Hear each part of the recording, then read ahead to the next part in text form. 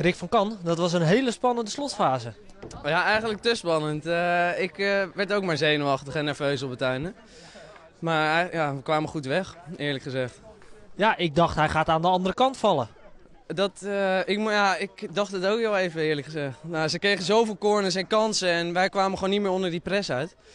En soms moet je ook een beetje geluk hebben.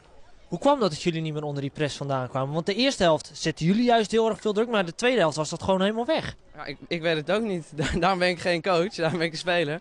Nou, ik weet het niet. De, hun press die stond gewoon heel goed. En uh, we, we paasten de bal tussen dan naar de zijkant. En dan kwamen we daar een beetje in de verdrukking en dan verliezen we de bal en kunnen zij meteen weer aanvallen. Dus wij hebben eigenlijk alleen maar verdedigd. En dan is Sam van der Ven een hele goede keeper vandaag, hè? Ja, dat is een hele fijne keeper om te hebben, ja. Daar hebben we geluk mee. Die heeft er echt wel een aantal ballen echt heel goed uitgehouden, zeker bij de strafcorners. Nou, nou zeker. Nou, dat is waar. En dan de laatste minuut, dan krijg je een uh, strafcorner mee. Ja. Uh, ja, dan gaat hij erin.